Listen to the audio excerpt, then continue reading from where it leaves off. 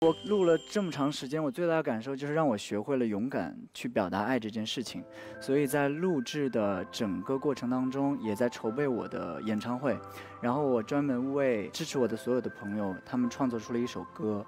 然后这首歌也是告白向的一首歌。嗯，但是。它和大家所之前听过的一些告白的歌可能不太一样，它不是直接的表白，它是一个故事。我想分享给大家，就是因为我每一次在见到他们的时候，会收到很多很多的信，成山了已经。我知道每一封信都是大家特别用心写给我的，所以我把我的故事创作出了这一首歌，然后名字叫做《你写下了我的名字》。嗯。